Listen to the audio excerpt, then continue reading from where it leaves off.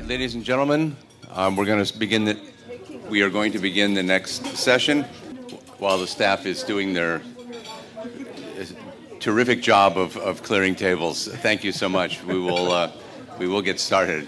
Um, our speaker is Gary Lawson, who is uh, the Philip Beck Professor of Law at Boston University. He is the uh, very prolific author of uh, books and articles on law, um, published in professional journals, uh, used widely in teaching. Gary interned uh, earlier in his career for Justice Scalia, um, both at the uh, the appeals court in Washington and then uh, at the Supreme Court. court. uh, he is also one of the founders of the Federalist Society uh, and is, remains on its board. Uh, in fact, that's how I first met Gary back when I think he was still in law school at Yale um, and invited, it was one of the first Federalist Society chapters. Um, they invited me to come talk about the fairness doctrine.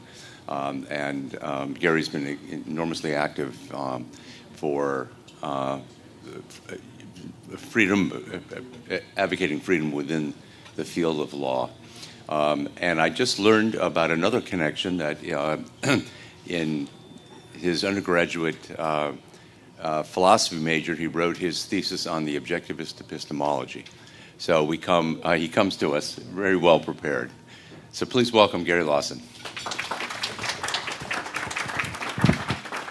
Yeah, that, that didn't go over too well in college. Uh, that's a whole nother story. Thank you for coming. This is the first time I've ever used PowerPoint, so you're guinea pigs. Uh, I teach my classes with Blackboard and chalk. When it comes to yeah, when it comes to technology, I feel like Eddie Willers. I'm, I'm in awe of the people who produce and manage it, but uh, you don't want me running the locomotive. Um, all right, well, since this is going to be an adventure, uh, why don't we start the adventure with who else? Nancy Pelosi uh, and Obamacare. Uh, one of the more memorable one liners in recent times came out of the debates leading up to Obamacare. Uh, but we have to pass the bills so that you can find out what is in it. Now, that's usually taken as an in your face affirmation of the practice of legislators passing laws, sometimes 2,000 page laws, that they and no one has ever read. And, and that, of course, happens all the time. Uh, that's not what Nancy Pelosi was talking about. Uh, that's taking her out of context. Uh, Nancy Pelosi thought it was perfectly clear what was in Obamacare. It's just that, according to her, we wouldn't really have a sober discussion of it until after the bill had passed.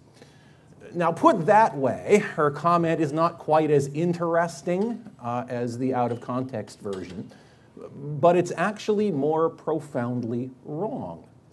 Uh, because the fact is that passing Obamacare, even four years later, would not tell you what is in it.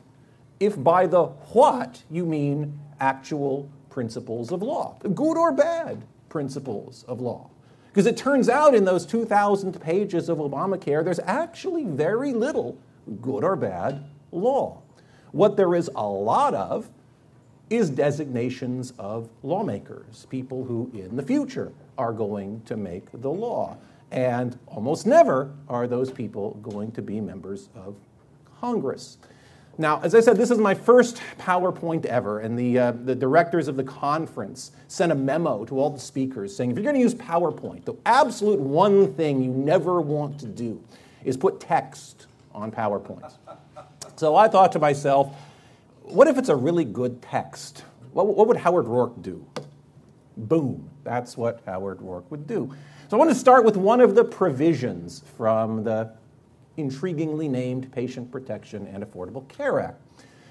Now, the context for the statement that you have up there, uh, without getting into all the mechanics of the statute, that's a different story, is that one of the central concepts is a qualified health plan. Right? Only qualified health plans can be sold on exchanges, and that's one of the principal ways of satisfying the government required insurance mandate. So, from its own perspective, from its own terms, this statute has to be able to tell a qualified health plan when it sees one. That's just one of the central ideas. So, what does it say? It says the Secretary of Health and Human Services shall, by regulation, that means a thing that comes out of an agency process that looks, functions, operates in the law exactly like a statute, but which comes out of a bureaucrat rather than a Congress, shall by regulation establish criteria for the certification of health plans as qualified health plans. Well, that's really it. It's all up to the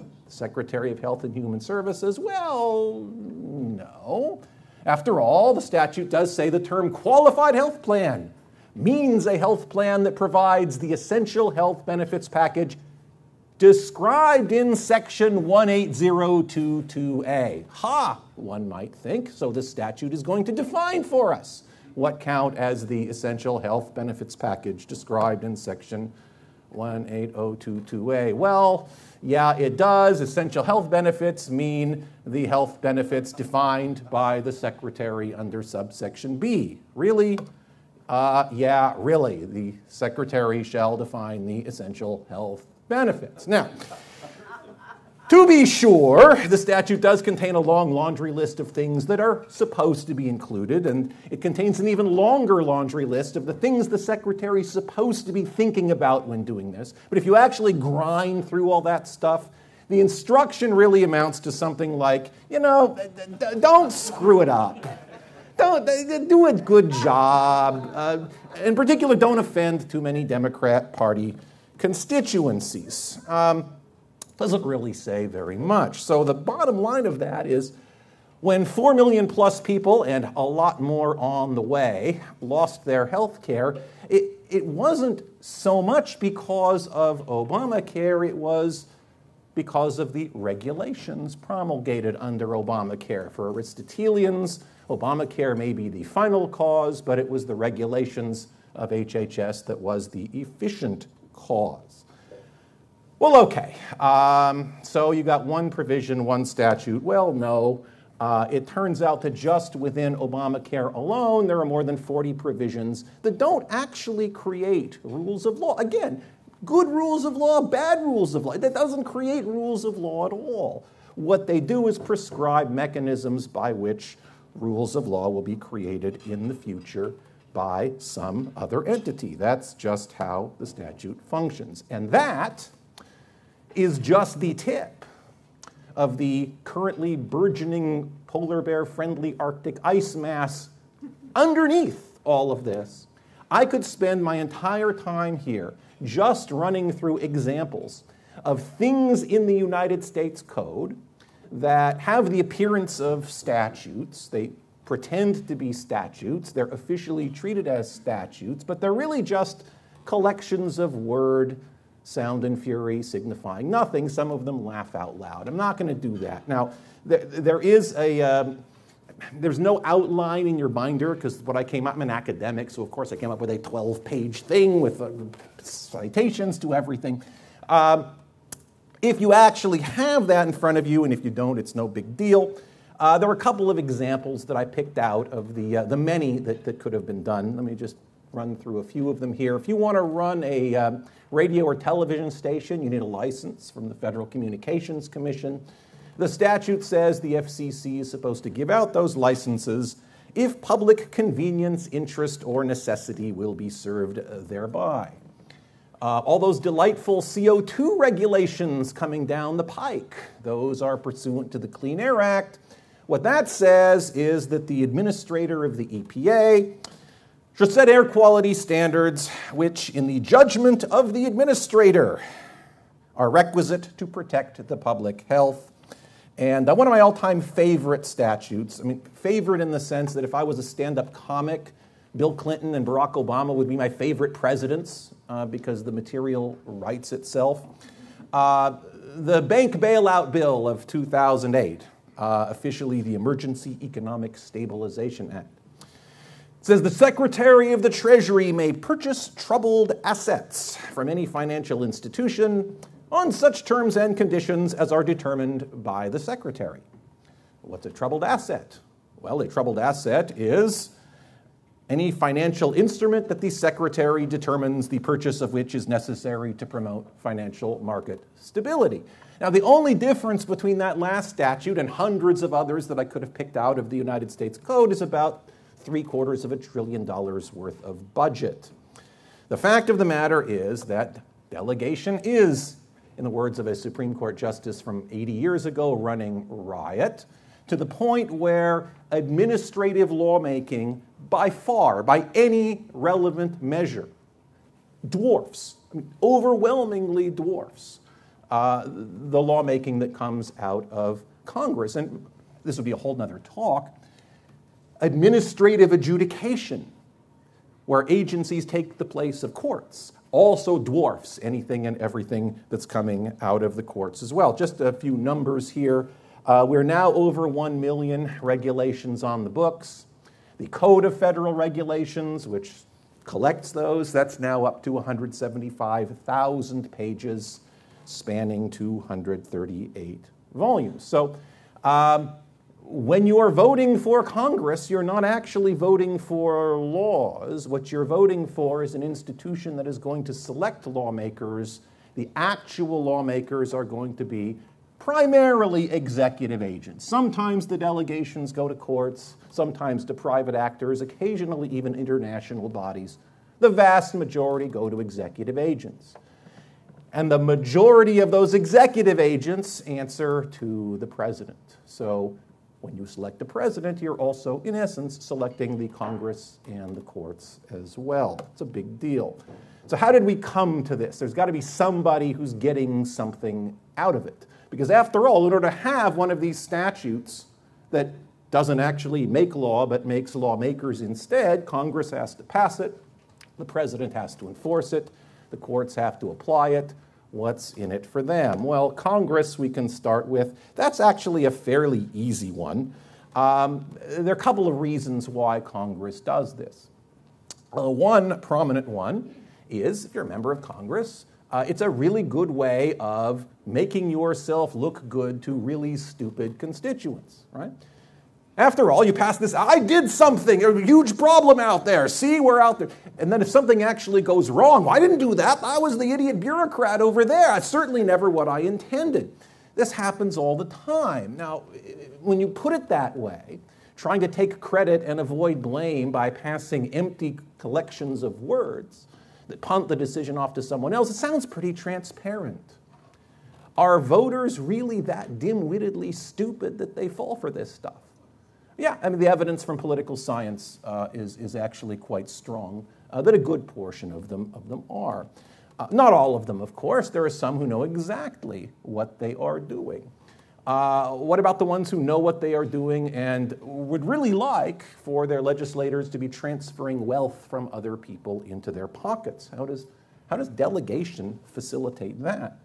Well, it does it in two ways. Uh, one is straightforwardly, uh, it reduces the costs of lawmaking. Uh, lawmaking is an expensive, messy business, at least if it's done in accordance with Article 1, Section 7, Clauses 2 and 3 of the United States Constitution. More on that later. Uh, on the other hand, if it can be punted down to an agency that can make a law simply by, and this is how rulemaking works, announcing what it's doing, waiting around a few months for people to file written comments, and then doing it, get a lot more lawmaking done, right? Uh, but even more fundamentally than that, the delegation phenomenon rests on something that's called unbundling. Congress is bundled. It's bundled in a couple of ways. First, there are 535 of them. If you actually want to get something, you have to somehow cobble together a majority of 535 of those people. Uh, secondly, uh, those people uh, are interested not just in what you as a particular interest group are uh, concerned about, but you have to compete for their time and attention with every other interest group on the planet. And finally, if you ever actually get one in your pocket, you not only get their position on your issue, but you also have to take their position on immigration policy, foreign policy, monetary affairs, and everything else. The thing about delegation to administrative agencies is some agencies have very, very broad jurisdictions. Uh, but even the agency with the broadest jurisdiction is concentrating on a particular area or segment. Agencies are less bundled than Congress, right? So, devolving the decision making authority to an agency lets you, as an interest group, deal with someone who is concentrating on precisely the issues that are of concern to you, and not at all coincidentally, who, when they're done serving on the administrative agency, uh, may very well come to work for you, to put it as crudely as possible. If you're an interest group, which number would you prefer? 535, that's the members of Congress, or somewhere between 1 and 7, because that's the number of people at the head of any relevant administrative agency. It's a fairly easy choice. What about the president? Uh, well, that's an even easier one. Uh, as I said, sometimes delegations go outside the executive. Most of the time they don't.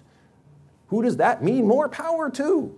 That means more power to the president. So the relevant number there is zero. That is, by my count, the number of bills that have been vetoed by American presidents on the ground that they unconstitutionally delegated too much power to American presidents.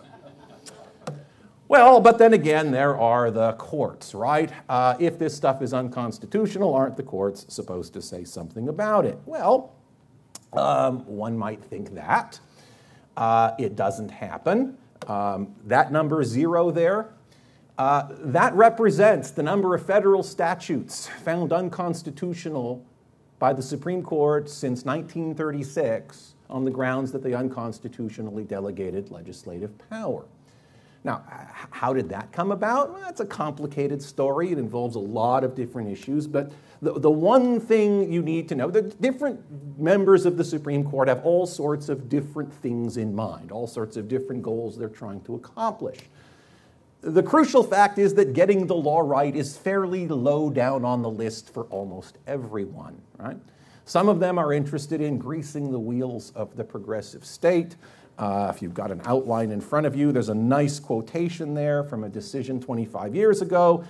This is the Harry Blackmun writing for the majority. In our increasingly complex society, replete with ever changing and more technical problems, Congress simply cannot do its job absent an ability to delegate power under broad general directives. That was the ground.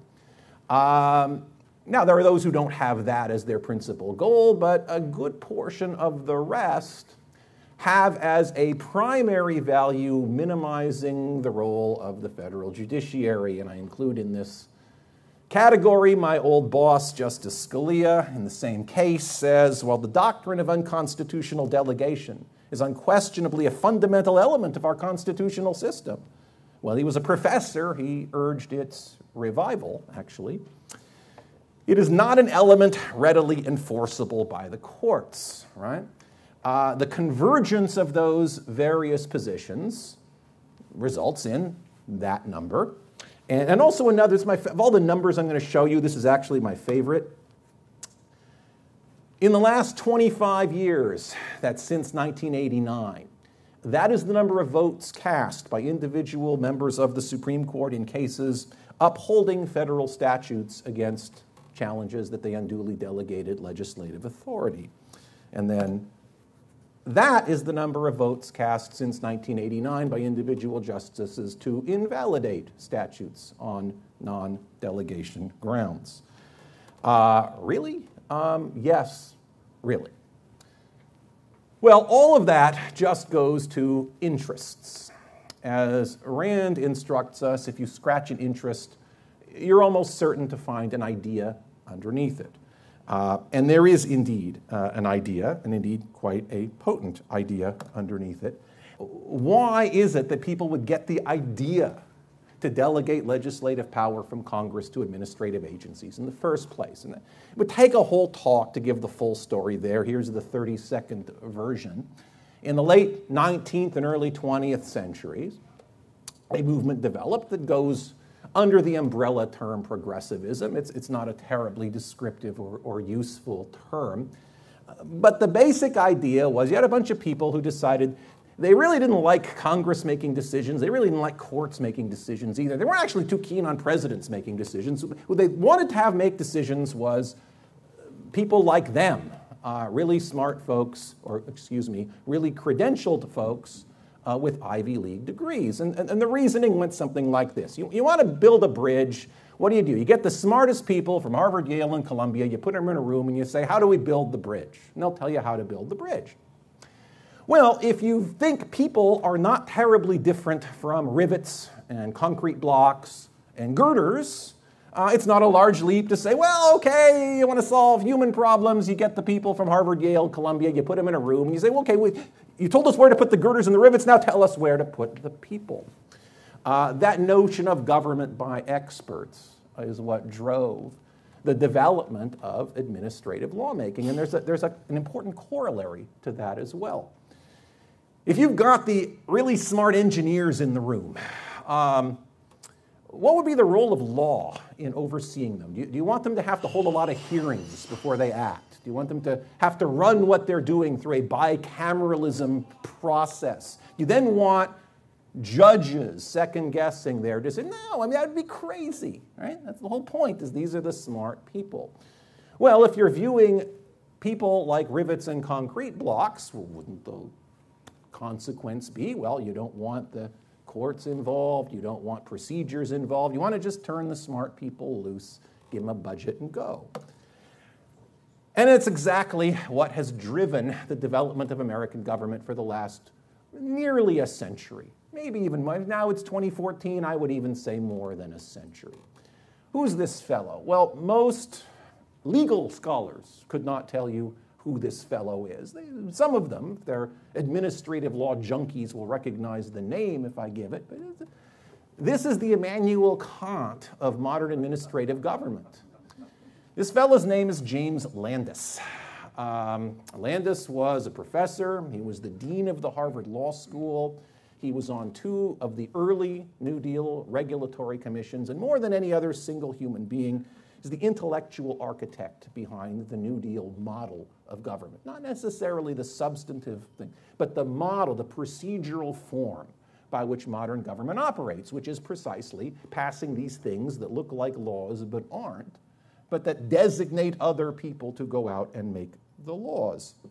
Uh, In 1936, Landis gave a series of lectures at Yale Law School that were collected into a book published the next year called The Administrative Process, by far the most influential, maybe the most important book in the history of American legal thought. And um, Landis had some very intriguing thoughts on how this particular vision of government could be reconciled with the United States Constitution, which, after all, sets up this procedure where, in order to make a law, you got to get these people to vote over here, and then you got these people to vote over here. You got to make sure they're voting on the same thing. They both vote on the same thing. You got to send it to this person over there, who gets to sign or veto it, and then you got a whole another separate. Then it's got to go to the courts, get to challenge it, and they have to decide whether it's. There's a whole lot of machinery involved, right? If you're really a progressive and you want the really smart people from Yale, Harvard, and Columbia to be telling everybody what to do, you, you got to get rid of all of that. Well, how do you get rid of all of that? Here's what Landis said about the relationship between this is this is a published book. This is not secret notes. This was out in the open speech at Yale Law School. Said in terms of political theory, the administrative process springs from the inadequacy of a simple tripartite form of government to deal with modern problems. It represents a striving to adapt a government that still divides under three rubrics legislative, executive, judicial, more on that in a moment, to modern needs. Okay, that sound familiar? Well, it's going to get more so. The insistence upon the compartmentalization of power along triadic lines that's actually allocating power the way the Constitution says to. Oh, as he means, he means he knows exactly what he's saying. Gave way in the 19th century to the exigencies of governance, without too much political theory, but with a keen sense of the practicalities of the situation. Agencies were created whose functions embraced the three aspects of government rulemaking, enforcement, and the disposition of competing claims were all entrusted to them. So his bottom line is that the administrative process, quote, vests the necessary powers with the administrative authority it creates, not too greatly concerned with the extent to which such action does violence to the traditional tripartite theory of governmental organization. This is the critique of pure reason of the modern administrative state. Well, does that really mean that for people like Landis, they, they just don't want law involved? This is my favorite passage, again, in the same sense that the bank bailout bill is my favorite statute in all of Anglo American law. It's really that good. This is Landis speaking. One of the ablest administrators that it was my good fortune to know, I believe, never read at least more than casually, the statutes that he translated into reality. He assumed that they gave him power to deal with the broad problems of an industry, and upon that understanding, he sought his own solutions. So he didn't want the administrators to read the statutes, he just wanted them to do, to act. Any of this sound remotely familiar? All right, so that's where delegation came from. I've already given you the 53 to 0 votes on the Supreme Court. Does that mean the non delegation doctrine is dead? Well, 10 years ago or so, in an article, I called it the Energizer Bunny of constitutional law because no matter how many times it gets kicked on, stomped on, stepped on, it somehow just keeps coming back. Because after all, for the Supreme Court to cast 53 votes, lower courts have to be doing something that they have to cast votes about. And in fact, during those 25 years, there is a slow trickle, steady stream, though, of lower court decisions finding some way to declare various federal statutes unconstitutional on the grounds that they delegate too much legislative power. There was even one major one on the DC Circuit Court of Appeals last year. So the, the non delegation doctrine has this feature where you kill it and then it's back again. It's almost like it's a fixed point in space and time that you just can't get rid of at all. So, um, why? There's something primal about the non delegation doctrine, what makes it primal. And the, there are two dimensions to that, two questions that remain. Uh, one is, is, is, I've been assuming that it's unconstitutional. I think everyone sort of takes that. Is it really unconstitutional? And second question, and it's logically distinct should anybody in this room care about the answer to the first question? Because after all, we're not talking about Judge Narragansett's Constitution. We're talking about the actual thing, which is quite far removed uh, from an objectivist document. So that second question turns out to be very, very complex. I don't think I'm going to have much to say about it in the talk here. Let me see, though, if I can say something in the time I have left about the first. Well, delegation would certainly be unconstitutional in the face of this provision. The legislative department shall never exercise the executive and judicial powers, or either of them. The executive shall never exercise the legislative and judicial powers, or either of them. The judicial shall never exercise the legislative and executive powers, or either of them, to the end it may be a government of laws and not of men. That would make it very clear who was supposed to do what. The problem, of course, is that's not in the United States Constitution. That comes from the 1780 Massachusetts Constitution. The United States Constitution contains no such provision.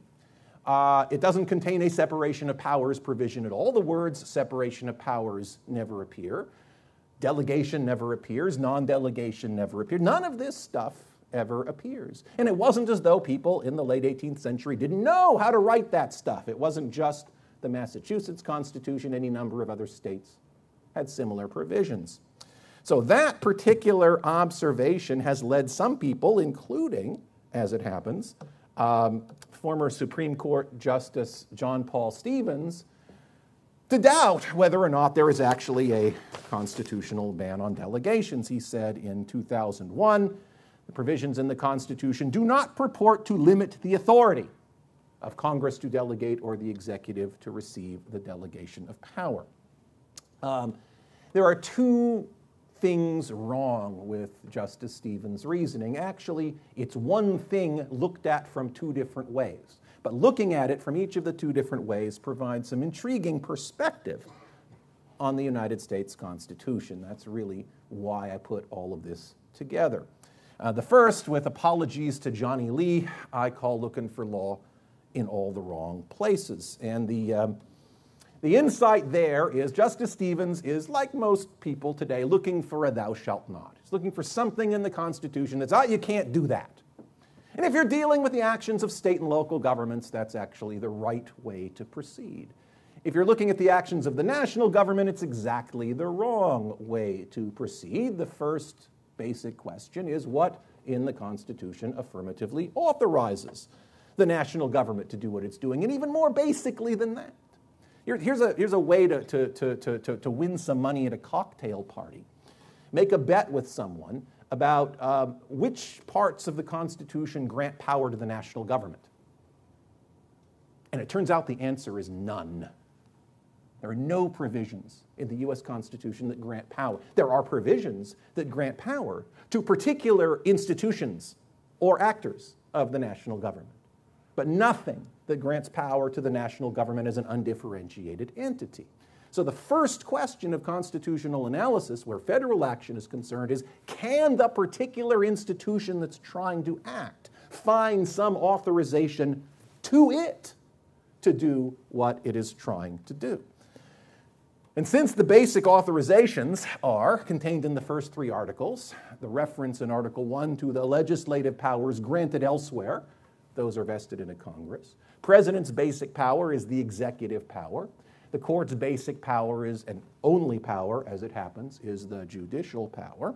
So the key is to figure out whether what anybody is doing when the Secretary of Health and Human Services is canceling people's health plans, is that the sort of thing that can fall within the power conferred on that particular institution, in that example, within the compass of the executive power. And to do that, just like the Obamacare has to be able to tell an essential health plan when it sees one. The United States Constitution has to be able to tell a legislative power, an executive power, and a judicial power when it sees one. And that turns out to be an extraordinarily difficult task. Again, in the outline, I've given some of the more colorful analyses over the years. Um, one from 1825 uh, from Chief Justice John Marshall, the difference between the departments undoubtedly is that the legislature makes, the executive executes, and the judiciary construes the law. But the maker of the laws may commit something to the discretion of the other departments, and the precise boundary of the power is a subject of delicate and difficult inquiry. Uh, James Madison in The Federalist described it as something which proves the obscurity which reigns in these subjects and which puzzle the greatest adepts in political science. Uh, but elsewhere, Madison said, you can do it. There are things that are his language in their nature legislative, executive, and judiciary. Uh, and a casual glance at the United States Constitution makes it clear that some sort of analysis of that sort is necessary. You have to do it. So, if we're talking about actions by executive agents, administrative agencies like Health and Human Services, the question is what are they doing? Is, is what they're doing properly characterized as executing the laws? And in one formal sense, of course it is. Congress passes a law that says to the Health and Human Service, go figure out what's an essential health plan. And if Secretary then says, okay, I'm figuring out, Aren't they doing exactly what the statute prescribes? What could be more executive than doing what the statute prescribes? And the question then becomes is that what it means to exercise executive power, is simply to do whatever it is the legislature prescribes? Or is there something essential, something fundament, definitionally fundamental about it being executive power? And the example that I like to use here is suppose that instead of saying, go forth and do good, which is essentially what these statutes say. Congress instead enacts blank verse. You know, just, or um, in, his confirmation hearings uh, uh, a quarter century ago, Robert Bork described the Ninth Amendment as an ink blot. Well, suppose Congress actually enacts an ink blot. What winds up in the United States Code is an ink blot. And executive agent looks at that ink blot and says, aha, time to start nationalizing the steel industry. Okay, I mean, I, am just interpreting the ink blot. Well, no, they, they, they, come on, there's a point at which the enterprise of interpretation stops being interpretation and it starts becoming lawmaking. It may be a very difficult line to draw, but it's a line that absolutely has to be there. Now, we could circumvent all of this if the Constitution specifically authorized Congress uh, to delegate its legislative power. Uh, but the provision that's up there, if you look at the top, uh, that's not from the United States Constitution, that's from the noumenal Constitution uh, that doesn't actually exist, right? Um, or does it? There is actually a clause in the Constitution uh, that says that Congress shall have power to make all laws which shall be necessary and proper for implementing or executing other federal powers. Does that include the power to delegate legislative power?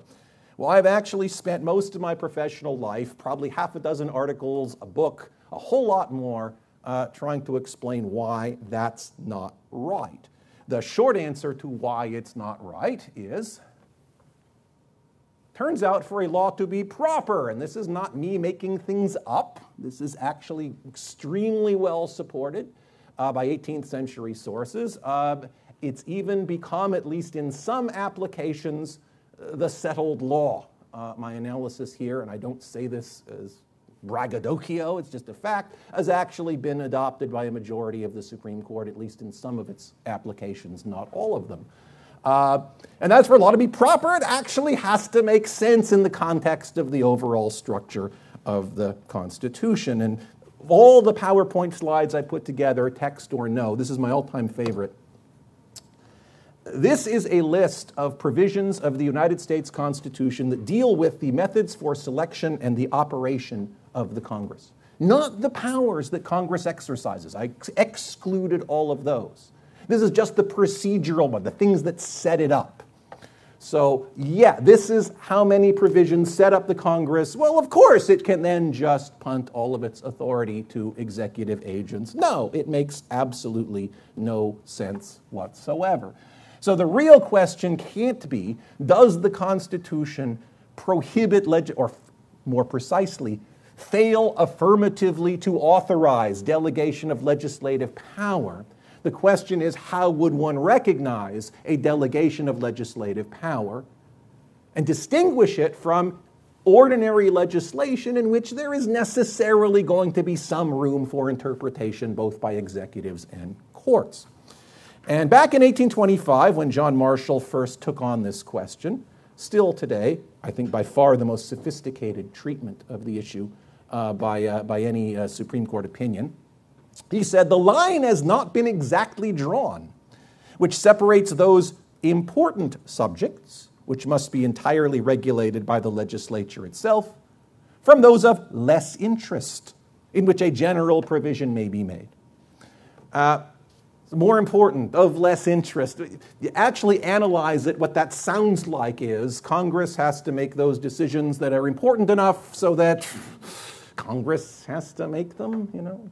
Uh, hasn't proven very satisfactory. So for two centuries, there have been attempts by various scholars and judges to try to come up with a formulation that beats it. Uh, they've tried to come up with things that represent an expression of political commitment to all sorts of stuff. Bottom line, I think Marshall had it exactly right. Uh, that is what I wrote uh, 20 years ago in an article, and I stand by it today. Uh, I think that's exactly the right analysis. Uh, some things are fundamental and some things are ancillary. And if it's ancillary, it can be the subject of interpretation. If it's fundamental, it can't. And there's simply no way, I don't think, to escape from that. This is why my old boss, Justice Scalia, runs from it as the vampire flees garlic because there is no way to apply that kind of norm without exercising a substantial degree of judgment. My point is number one, well, yes, but that is in fact the task that the Constitution sets for you. You don't want to do it, take the pension. Uh, and uh, secondly, even if there are a lot of hard borderline cases, there are going to be a whole heaping lot of easy ones, easy kills, as I say. So that's sort of argument number one against uh, authorizations of delegation. The second, apologies to Billy Joel, um, is, is, in some ways more profound.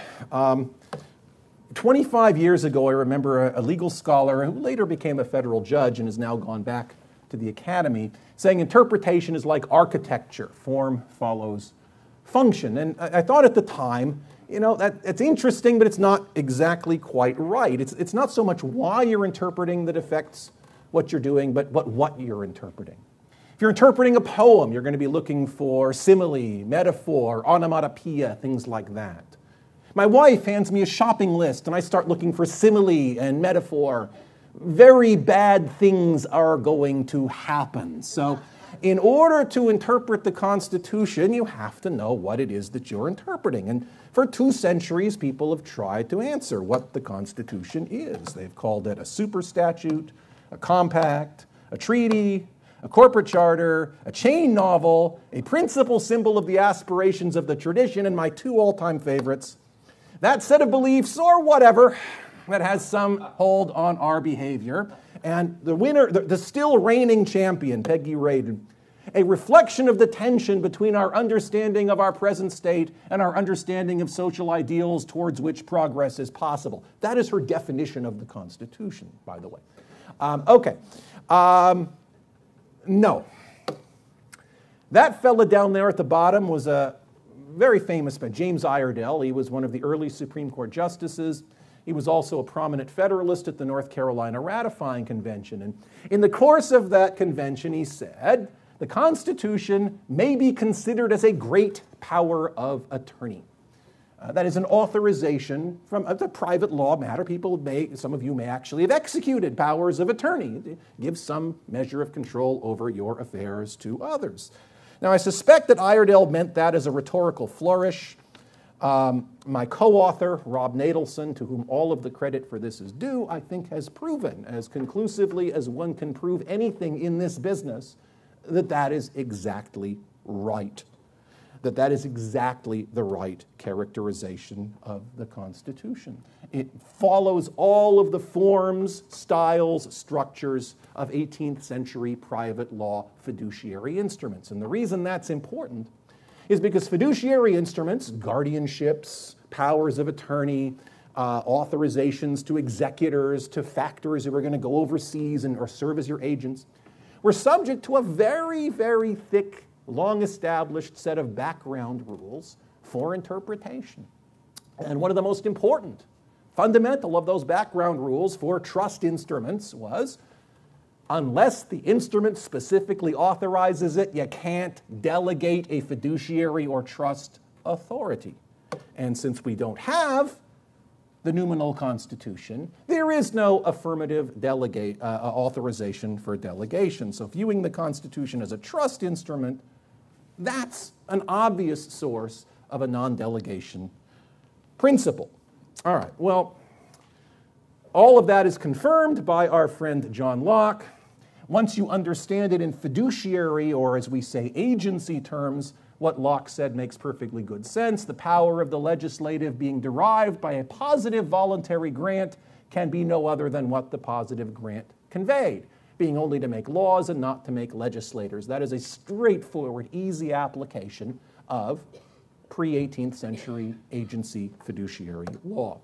Now, final question. I know um, the timing is, is, is, is, not good here. Uh, I, we're not coming up on 515, uh, but we are coming up on 215. Uh, that's 515 from The Who, it's from Quadrophenia. Um, why should I care? What, what, so what? I mean, all of this tells you is that if you actually read the 18th century Constitution, it tells you legislators shouldn't be delegating legislative power. Um, why is that interesting?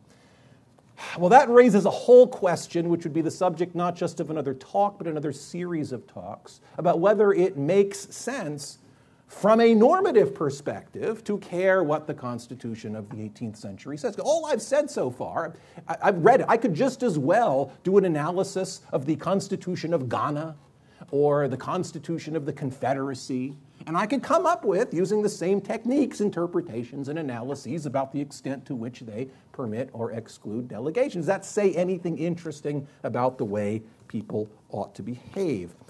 Well. That's a, a, different topic. Why one ought to care about the Constitution. I do want to say something. That would be this question about um, if, if you were drafting a Constitution, would you draft it with prohibitions on delegation? Uh, and that turns out to be an interesting question. There, there are quite sophisticated arguments in political science for why it is that presidents and presidential delegees might actually make better lawmakers than Congress. After all, if you're talking about granting power back to Congress, you know, really, that's, that's, that's what you get.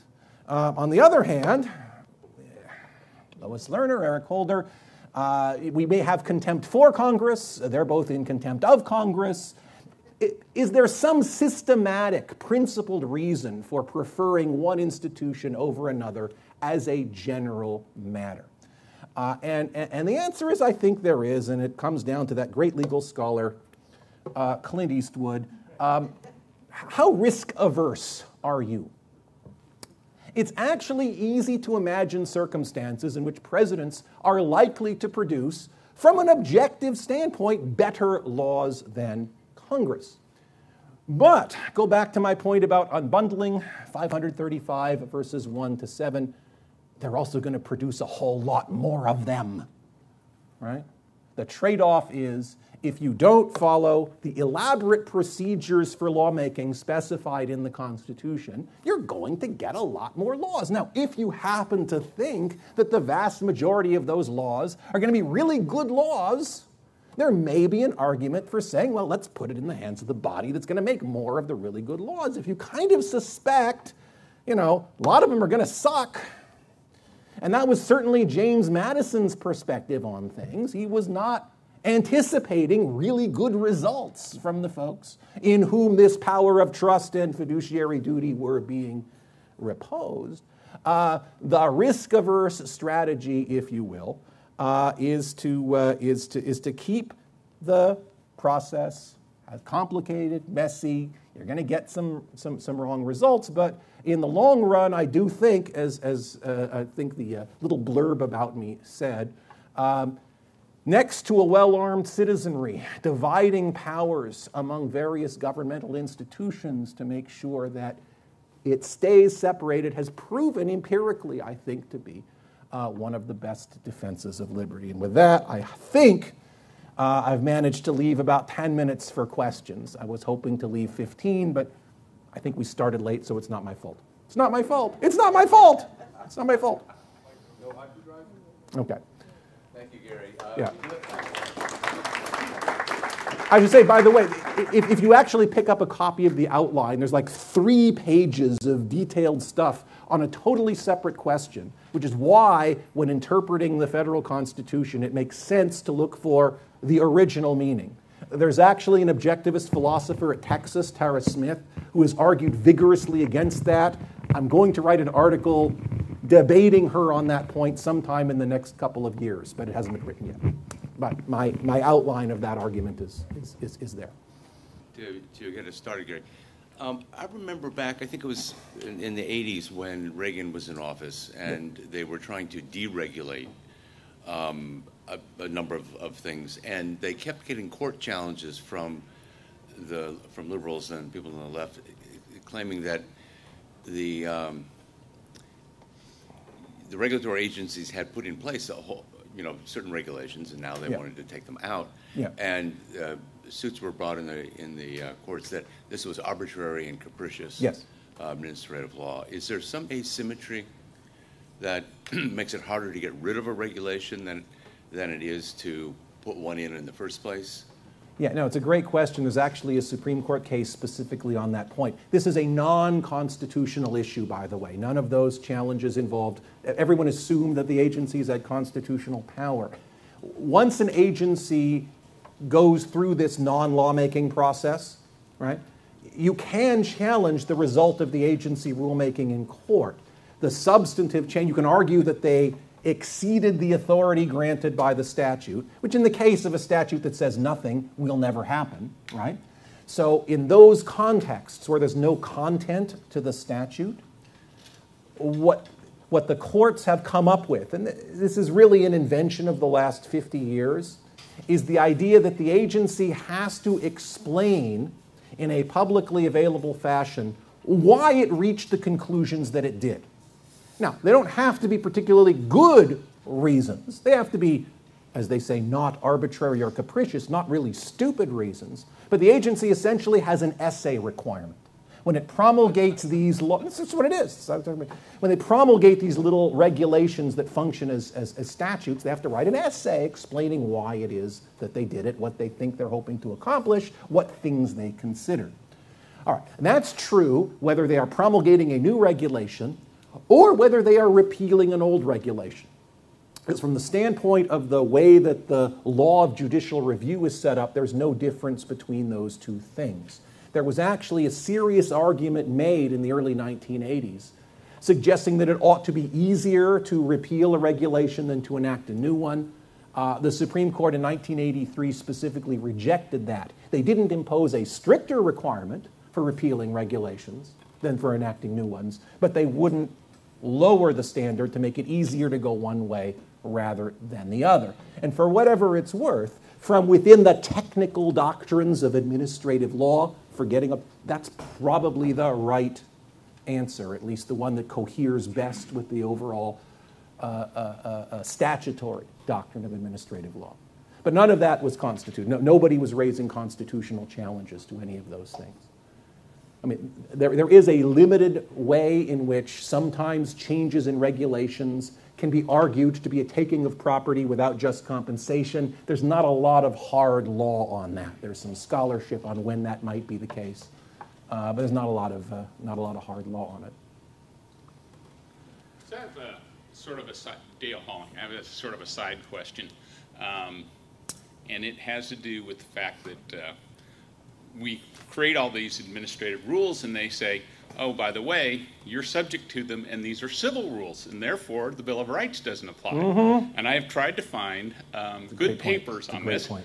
There's not that I could find a single good paper that came out of the U.S. There are some common law countries that have talked about what these can be, and short of the death penalty, anything can be done to you under civil rules, which therefore you don't have your Bill of Rights. Do you know of any good papers? Yeah, there's, there, no, it's, it's, a, it's an absolutely great topic. I actually used to teach that very. I used to teach a seminar in advanced administrative law, and that was one of the topics that I regularly covered. For, for those who are, who are missing this, the Constitution sharply distinguishes in a whole variety of ways between when the government is coming after you criminally and when it's coming after you civilly. Now, in terms of consequences, if it's a civil case, they can't put you in prison, right? It's a criminal case, they, they can.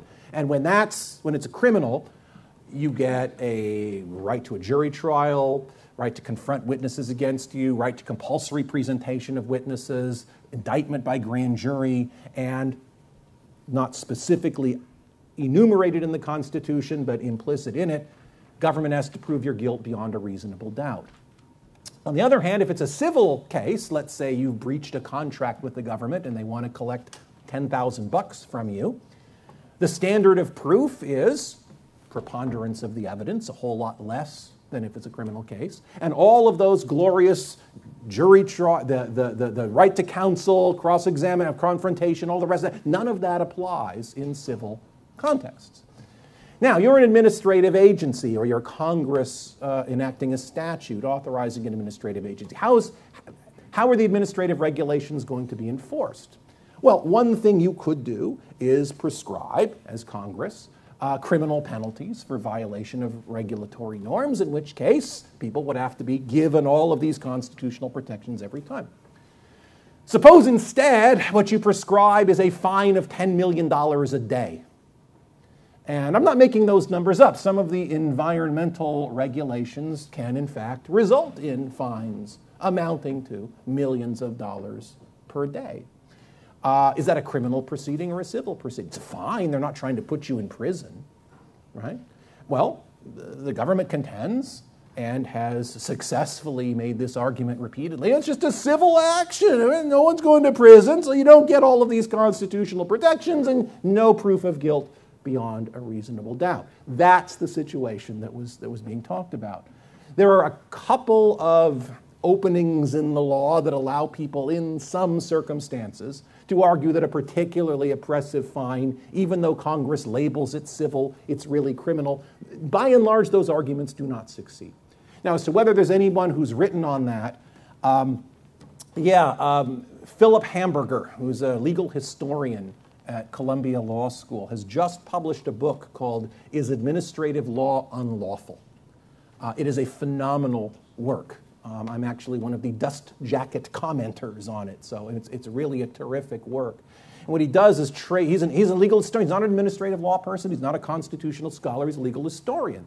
And he looks mostly at you know, England in the 1500s and 1600s and 1700s, debates over the royal prerogative. And he looks at modern America and he says exactly the same things that people were screaming about in England in the 16th and 17th centuries, and they're like decapitating kings over this sort of thing. I mean, it's all exactly the same stuff. And he does a beautiful job of showing the parallels between all of those early debates over the royal prerogative in England and what happens in modern administration. And he has a specific discussion of the role of jury trial and specifically how classifying some of these actions as civil rather than criminal undermines some of those fundamental principles of law.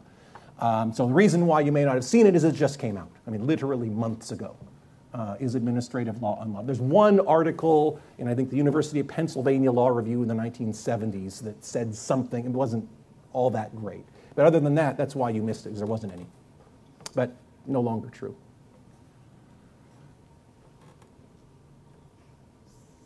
So is he saying all offenses should be uh, classified as criminal? No, it's just that some of them should be. When you're trying to, when the government is trying to enforce its regulatory norms, yes. If they're trying to enforce a contract, when the government is behaving as a market actor, if you will, perfectly sensible for them to proceed through the civil system. What he's objecting to is the government in its enforcement capacity trying to present that as a civil action simply because they aren't trying to put you in prison. That's the, that's the line that he draws between enforcement actions and simply enforcing its authority as a, as a, as a, as a, as a, as a standard market actor. If you can't pay the fine, can they put you in jail for that? No, actually, just, just like if you are, are held liable for breach of contract for $100,000 and you don't have it, all the creditor can do is find whatever property you have and have it sold at judicial auction and the proceeds used to pay the debt. Uh, you, you can't go to prison for non payment of a debt. And that's true when the government is the creditor as well. They can seize all of your assets, they can sell all of your assets at a judicial auction, uh, but you don't go to prison for it. Yes? Okay, this may just be my misunderstanding, but I was reading recently that in Texas, um, when people are fined for various offenses and they can't pay their fines, they, are, they end up in prison.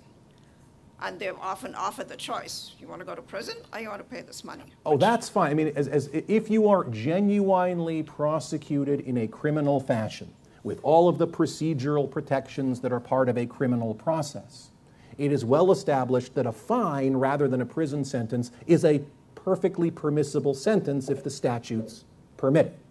That is, you can have criminal offenses with all of the constitutional bells and whistles, where the end result is you pay a fine instead of going to prison. That's the possibility that makes the, the gimmick of switching it between civil and criminal possible.